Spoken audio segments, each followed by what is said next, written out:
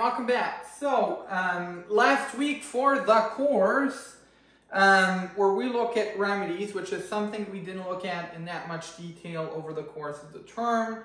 The main thing is we'll see, um, and as we saw, in fact, is the typical remedy, which is to quash a decision and return it to the decision maker.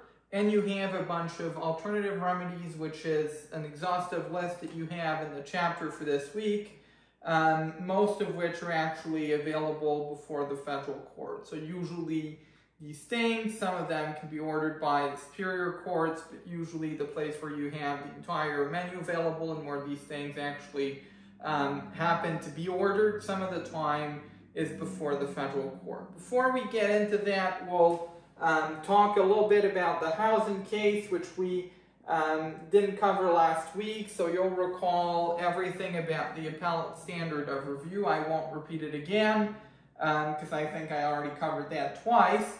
Um, but there is a different standard that applies to the extent that you have the word appeal in the statute and to the extent that that is framed positively. So if it says you have a right of appeal, doesn't use the word appeal in some other way, right? Like final and without appeal. It's not proper use the word appeal. So if it says you have a right of appeal, then the, the general standard framework, the general framework that we have of reasonableness and correctness review does not apply and you are subject to a different framework, which is the appellate standard, which is the standard that otherwise applies when a court of appeal is reviewing a decision of an inferior court, and its standard is different in that it's not subject to the presumption of reasonableness review. So under that standard, you have um, issues of fact and mixed fact in law, which are both reviewed pursuant to a more deferential standard, which is a palpable and overriding error that is not the same as reasonableness review. It is arguably more interventionist. Nonetheless, it's similar in that you have deference. And for issues of law, under the Housen framework, these are reviewable under um, a standard of correctness, and that's where the difference is. Because under, um, under administrative law, even issues of law are reviewed based on a deferential standard of review, which is reasonableness. So this is different, right, in that all issues of law under the Housen framework are subject to correctness review. Therefore, it's significantly more interventionist globally as a framework than the one that you have under administrative law. Um, so that's how the, the, standard um, differs under administrative law. You'll recall on top of that, most issues of law would in fact actually be subject to reasonableness review because most of them would first not be issues of central importance to the legal system as a whole, which is the one exception that you have. And on top of that, most of them would be the decision maker interpreting their home statute so their constitutive statute, which gives them their powers, right? And that is subject to a greater, right, an, an additional presumption that deference should apply because they have a specific expertise in, in interpreting the law that they happen to be applying all day. Under the Housen framework, to the extent that you have something that's subject to correctness review, it can be replaced. That is different from, in terms of remedies, quote unquote, right? Different from what you have pursuant to administrative law. So in administrative law, of course, correctness means the same thing. It's reviewed the same way. The decision maker is free to replace the decision with their own. But under administrative law, they don't. So they know what the answer is because it's correctness. This is the nature of it, right? There's a single answer. If you determine that it's not the correct one, it's because you've also determined what is the correct one. However, under administrative law, nonetheless, you don't get to, by default, amend the decision and render the decision that ought to have been rendered, although you know what it is. In contrast, courts of appeal routinely replace the decision of the lower instance court with the one that they determine ought to have been made pursuant to a standard of correctness. It's generally because, right, um, it, it doesn't require a further assessment by a lower instance court, which has all the advantages that you saw in the Housen case. A greater familiarity with the record, with the witnesses, right? It's been able to assess their credibility. All that is not really material to an issue of law. So if this, the, the Superior Court erred in applying the correct law, right, the facts remain the same, the factual conclusions of the lower instance court also remain the same. The only thing that changes is the way in which these lead to a legal result, which the Court of Appeal can determine on its own because right, the ingredients are essentially the same. So the other standard under Housen, as we stand is palpable and overriding error. Um, that means that um, you, you have the description of that in the case. Um, it, it, it, applies to both um, issues of fact and issues of mixed fact and law.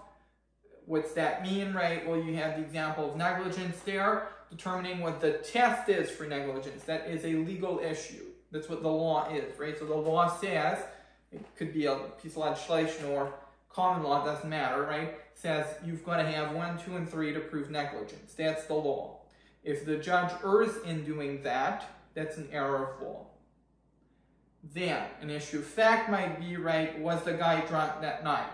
That's an issue of fact. So, someone says something, someone else says something else, and then the judge magically decide what the truth is, what actually did happen, that's determination of fact.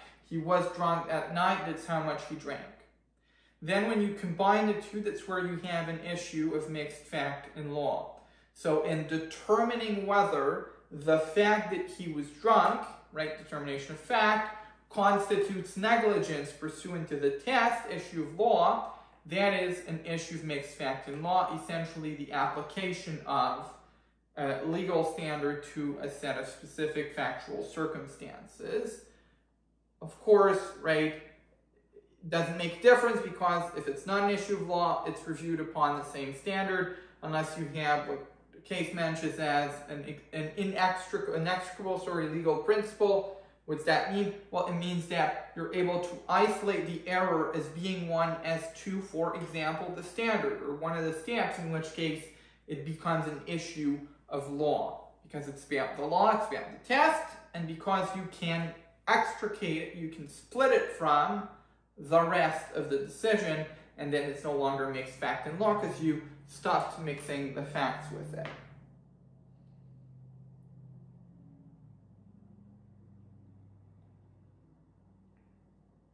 Okay, so appellate courts on top of that on determinations of law, first, as we said, do not have a disadvantaged position as compared to the trial judge because they keep the facts being the same and just apply the law as it ought to have been determined by the trial judge. On top of that, why is it that they intervene? First, generally, they're thought to have greater expertise. Usually, they're smarter judges. That's why you pick them from the Superior Court to get there.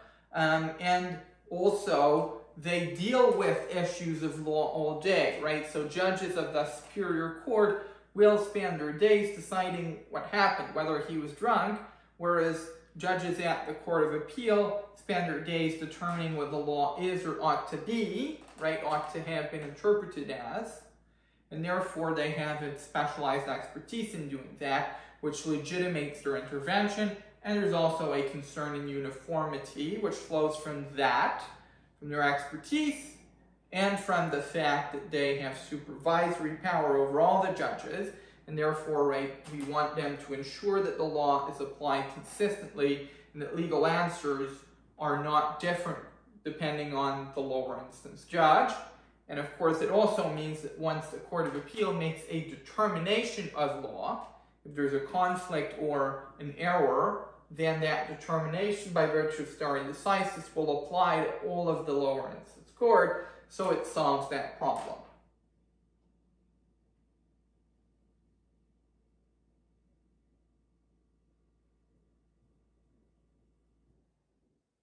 Okay, so um, chapter on remedies for this week, right? That's it for the Housen case. Um, first, the default remedy, as we have discussed throughout the semester, is to quash the decision and return it to the decision maker for redetermination. So it is to cancel the decision. Again, regardless of the standard of review. You've got to go through all the steps, you decide what it is, and you apply it, the standard. Then it turns out to have been either incorrect or unreasonable. That does not make difference. The remedy is the same by default, and that is to quash the decision, namely cancel it, and send it back to the decision maker for redetermination. As we have said, that will generally mean, mean a different actual physical person as a decision maker for obvious reasons that we covered. Nonetheless, the court almost never will substitute its own opinion for that of the decision maker, even when it knows the answer, right, as it always does under correctness, because we have deference because, right, the whole point of this thing is that the decision maker is supposed to have uh, specialized expertise, supposed to be able to make decisions more efficiently. All that is defeated by an overly interventionist stance by the courts, even though at first it might seem easier and cheaper for them to just say what the correct answer ought to have been, right, and, and avoid the, the we call it merry-go-round, right, sending it down and the whole thing happening again. But at the end of the day, right, if the court always does that, that will mean that people will go to court even more often and try to have the court determine it, which would defeat the entire purpose, including the fact that the decision maker is supposed to have, right, a more efficient process and also specialized expertise and all the things that we saw.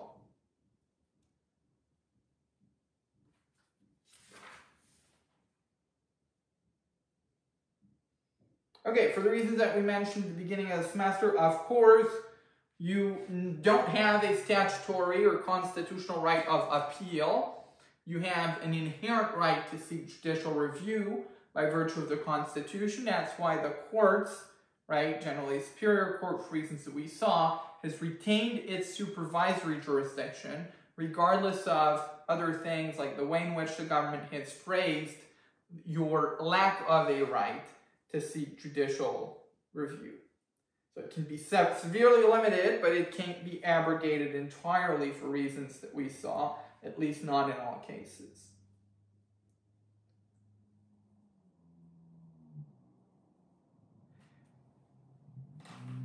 Okay, another thing that we did not see is that a lot of these um, remedies are essentially equitable remedies, right?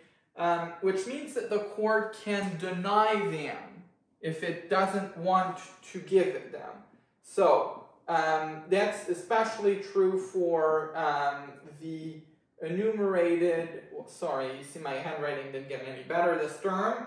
Um, so uh, it's especially true of the enumerated remedies that you have in Chapter 9. They count as essentially equitable. That means that the court is able to deny these remedies, right? That's because historically, as you are mentioned, the king made it up to supplement justice, blah, blah, blah, right? You saw that in first year. So equitable, which means that it can be denied for reasons that are not directly related to the legal claim. Because these remedies are supposed to help justice, right? When the law did not adequately serve justice, that's what equity is, then you have to respect these principles. The main thing is what we call the clean hands doctrine, which means if you did something wrong for any reason, you're not showing up with clean hands, the court can deny one of the remedies that you have enumerated in the chapter. So, court can say, yes, that was an illegal decision. Yes, you are, per the statute, entitled to whatever it is, mandamus. But, right, you've done something wrong somehow, it's not necessarily directly related to what you're asking for, and we will choose to deny the remedy that you're asking for because these remedies are equitable, quote unquote, essentially. They are discretionary.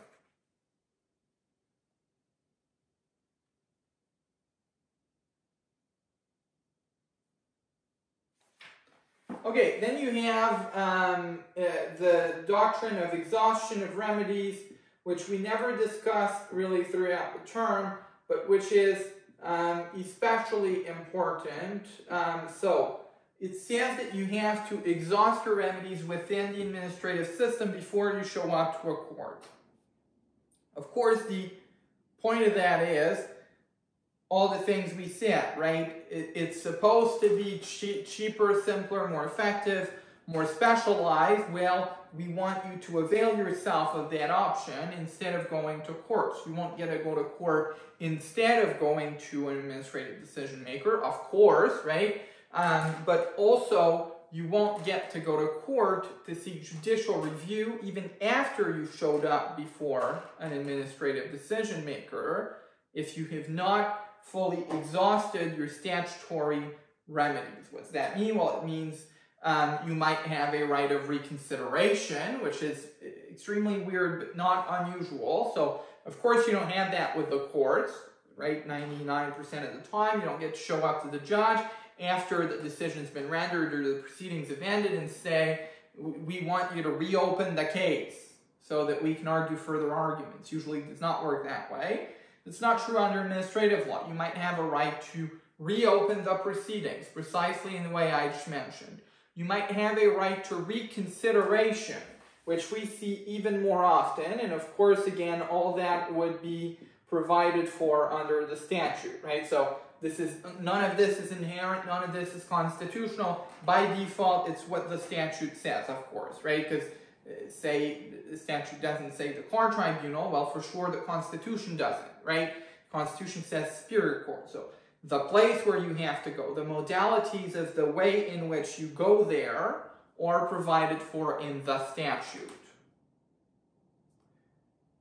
Same thing for this, right? If you have remedies available within the administrative system, they are also provided for by statute. So one of the more common ones is reconsideration. So you might get to not reopen the proceedings in the way I've just described, but you might get to ask the decision maker to rethink your stuff themselves. You might say, this appears to be wrong in law. Hey, immigration officer, it appears that you have ignored the law.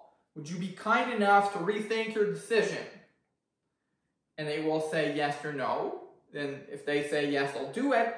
And then you'll get a decision upon your reconsideration request where it'll say, I looked at the law, I decided not to do anything. It's often provided for.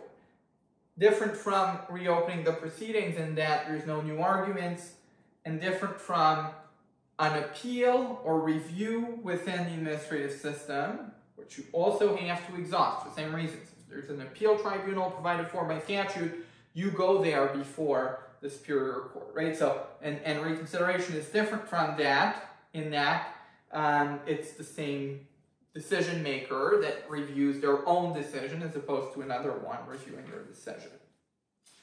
Okay, so that is the default remedy. Um, again, 99% um, of the time you'll have the, the, the decision quashed and returned to the decision maker. Um, similarly, you have the doctrine of functus officio, which is exactly what I said. So the doctrine of functus officio says once a decision maker has exercised their role, they no longer have jurisdiction. So if you are before a court, the court renders a decision, it is functus officio. It had the power to decide the case by law, just big power, do whatever they want, right? Order stuff. Um, but that power ends with them deciding the case, which is the judgment. So if you call them up afterwards, right, all that cool power that they had, they no longer have because they are functus officio. They have ended their office and can no longer exercise that power. Well, the corollary of that is if they're not, they're not, right? They're not done. They have the power, and so you should exhaust that pursuant to the doctrine of exhaustion of remedies prior to showing up before an actual court to seek judicial review.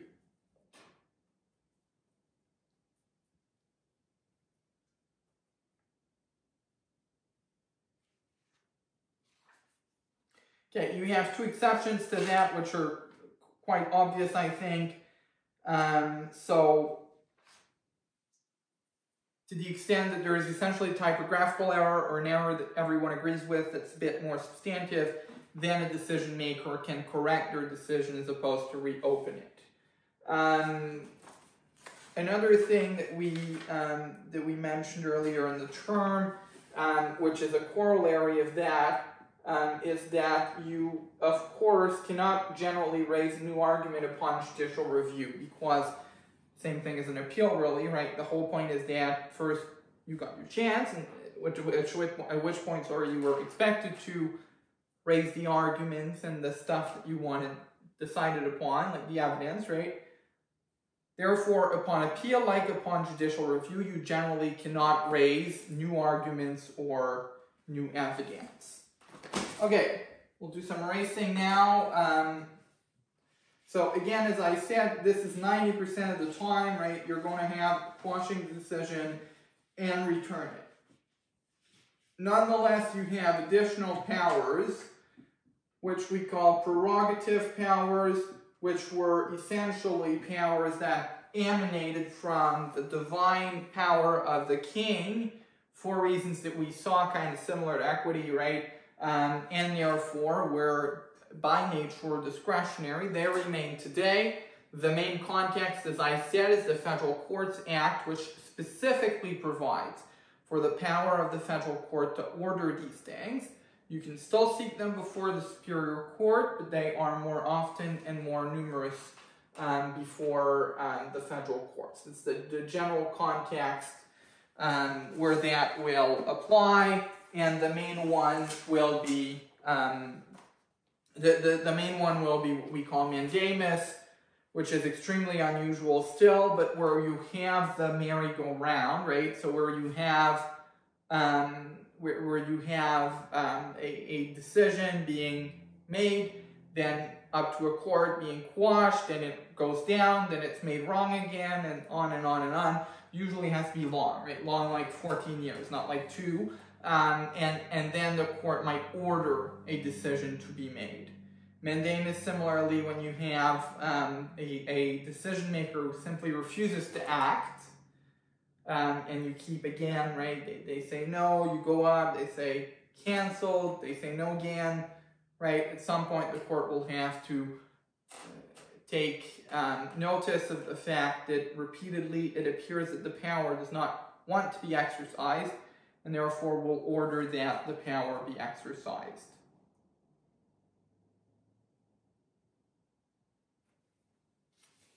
Okay, and these apply to um, public actors, like most of administrative law, but slightly more specific. It's also why, of course, they happen a lot before the federal court, because as we said, the federal court has jurisdiction over the government, right? It has jurisdiction over the federal government. So does a lot of public law stuff, including right, ministers and all of that. First remedy that you have, there's five total, as is mentioned, right? Certiorari is where extremely, extremely unusual, probably the second most unusual, is where you get to order a decision maker to be reviewed. So you order them to show up with the record, and they do so, and the court determines whether something has been done in violation of generally having something having to do with procedural fairness. Um, that being said, doesn't change the stuff that we saw earlier. There's no early judicial review. You have to exhaust your remedies, and that also means you don't get to have review of an interim decision. So, for example, you're before a court, a judge, whatever, a, uh, rejects some evidence. That you can seek permission, might not have a right by law to appeal, so permission to appeal, which generally will be denied, but you can do that. You're allowed by law, not under judicial review. There's no way for an interim decision and you showing up before the federal court and say, or whatever court, right, and saying, this is wrong, can you fix it or cancel it such that the rest of the proceedings go right doesn't happen because you haven't exhausted again the remedies, right? Namely to first raise it before the decision maker and then wait for a decision on the merits, which might very well fix the problem anyway.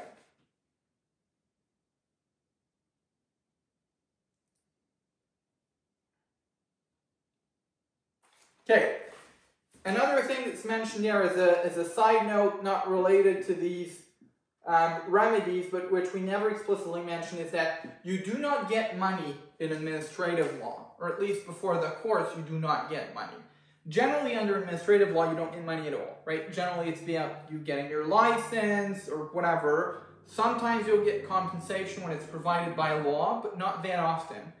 That being said, before the courts, upon judicial review, you essentially never get money. Doesn't work that way. What the court does is review, but then the remedy is, unlike a court, never to give you money. That's what courts do usually, right? It's money or jail. Um, doesn't give you money. It cancels the decision. So, although a, an illegal decision was just made to your prejudice because it's illegal, there's no compensation for that. It's a canceled return, and therefore, upon judicial review, you almost never have monetary awards. Second one is mandamus, as I said, some probably the most common one, especially before the federal court, um, and that happens when systematically a public servant refuses to act, and you have the specific criteria um, at pages um, 590. Usually requires a risk, something special, right? So some risk that charter rights will be infringed or a very vulnerable person will be prejudiced. So a, a specific unusual risks, otherwise the court prefers to, again, quash and return than to order a, a, a, a person to do something. 590, you have the criteria. Um, so there has to be a duty owed. So you can ask for something, it's owed to you. There's like 20 criteria out there, but uh, we'll get through the main ones. 590 again, um, right? Duty owed to you, you ask for the duty to be performed, and, and each of these is cumulative. It's declined, it's declined wrongly, and then you have certain criteria having to do with a balance of convenience which is essentially drawn from, if that's of any interest to you, a precedent called RJR on preliminary injunctions. And it's a very similar test as to whether or not it's worth it for the court, given the balance of the interests involved, to order mandamus. Usually, as I said, the underlying um, objective of that is to avoid undue delay. So when it becomes very clear that what you're asking for and have a right to will not happen, although the court right keeps asking for it in other ways. Doesn't need to be, right? For instance, charter rights might be more permissively ordered, but usually that's the typical way in which it shows up.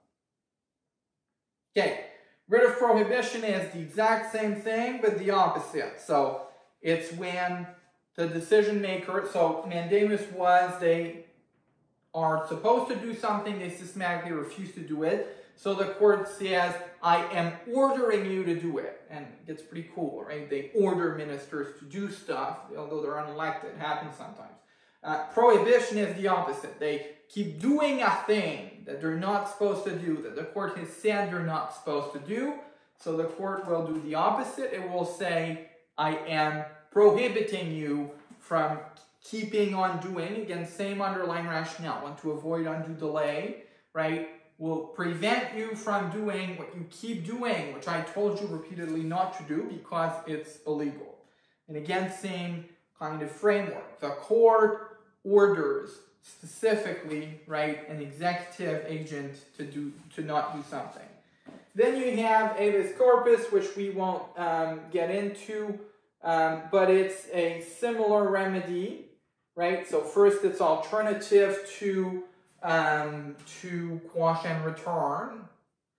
Um, it applies, of course, in the criminal law, right? That's one of your constitutional rights, in fact. So someone, whoever it is, usually, I mean, it always is the government in some way, right? It usually is the police, could be something else. That's why administrative law shows up. You can have administrative detention of someone who has first not been found to have committed a criminal act, but someone who turns out to be not someone who has rights in Canada because of their legal status, they don't have constitutional rights, and so you can detain them if you want to. It ends up being administrative law, generally in the, in the, in the immigration context. There's a bunch of other things with hospitals, disabled people, all sorts of things. So, shows up in the criminal law, the police detains you, and you disagree, right? So, usually the way it works, the police arrests you, then they free you. That's how it works, because you're not guilty yet, they don't get to jail you. Sometimes, unusually, they will preliminarily detain you in case you, right, are likely to kill someone else or get on your private plane and leave. If they do that, you have a right to say, bring me before a judge. So you have a right to say, I want this deprivation of my freedom, which again is not legal in that you're not guilty yet, right?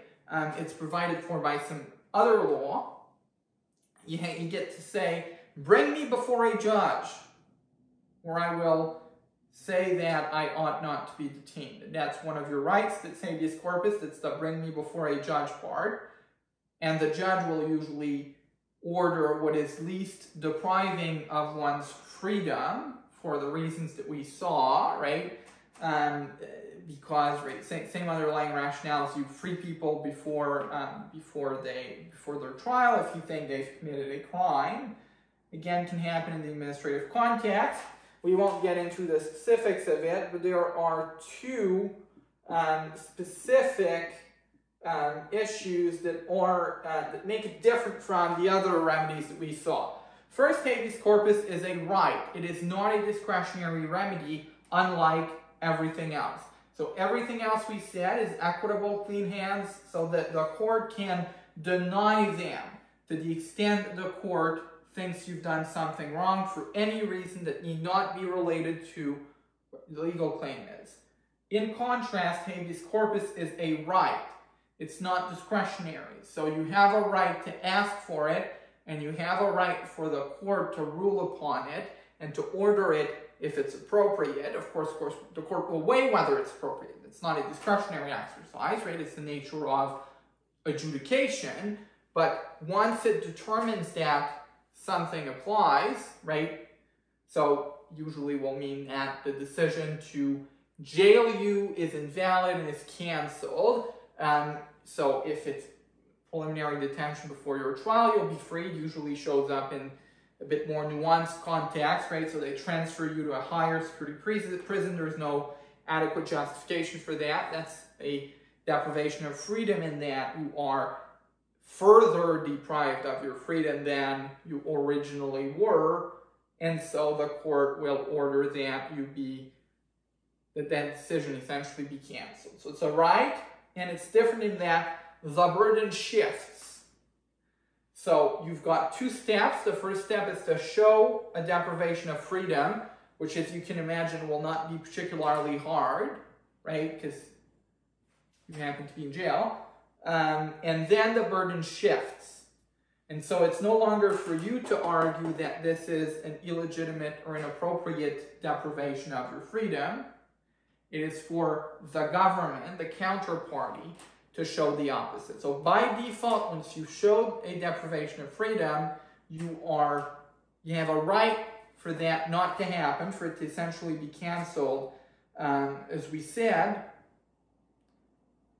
unless the counterparty who now has the burden, right, shows otherwise, shows that it's a reasonable and appropriate um, deprivation of your freedom.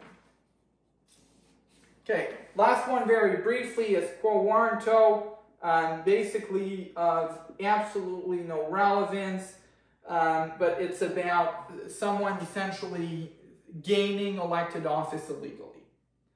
And you can have the courts exercise essentially an equitable remedy to, to solve the problem. Um, doesn't happen all that often precisely because there are statutory remedies, right? One of the reasons why we're a developed country is that, right, if, if someone turns out to have been elected wrong, there are a lot of remedies you can exercise for that not to keep happening, right? Um, nonetheless, there are specific situations, usually having to do with um, First Nations Council elections, which, um, not to make any inappropriate comments, but usually are extremely contested um, because usually there are quite significant salaries associated with elected positions um, in First Nations Council, which are which are funded by the government, um, and usually you have um, lots of people who want to get elected there, and usually that lends itself sometimes to some procedural irregularities with financing and all of that.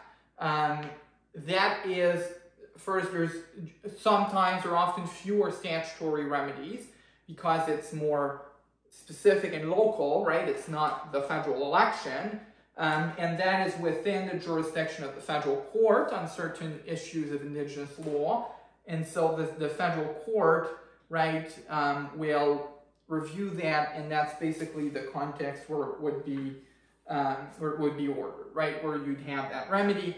But again, right, um, that's only to the extent that you have first um, no um, statutory remedy, but it can also be that the court finds, because again, we're back to discretionary now, unlike habeas corpus, the court might also find that some other remedy is more appropriate, namely quash a decision, right? So the court could could could invalidate the election and ordered that it be held again instead of having to exercise right a discretionary remedy to essentially remove someone from office um, forcefully. So that's what, um, what that's what it is. Um, it concludes our discussion of the five prerogatives powers. Um, one of the things that's mentioned at the end of the chapter um, if that was ever of any confusion, is that you no longer need to ask for those separately. So initially, because of their discretionary nature, you had to request them separately. That's no longer the case. So what's that mean? Well, you can go before the federal court. You can say this decision is unreasonable, and I want certiorari because I meet, or mandamus because I meet the criteria. I want the court to order um, that decision be made um, for the decision maker essentially with an order. However, you know you'll lose because of the nature of the stringent criteria, so you'll also say, right, the subsidiary argument that you want the decision to simply be quashed and returned. So that means that you can ask for various remedies, including these ones, in the same essentially lawsuit, in the same application for judicial review. And that concludes our material for this course.